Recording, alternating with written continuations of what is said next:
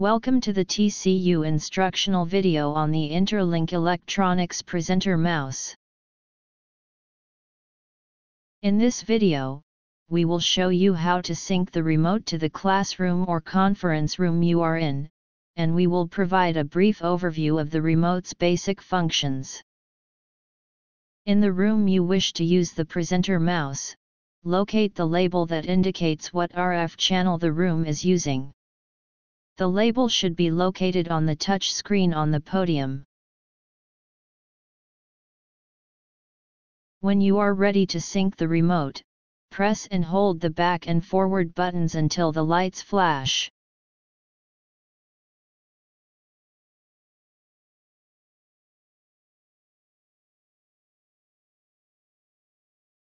Then select the RF channel number on the remote.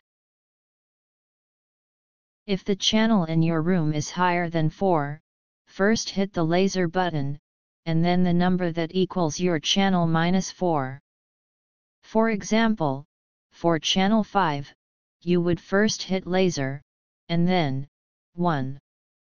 For channel 6, you would hit laser, and then, 2.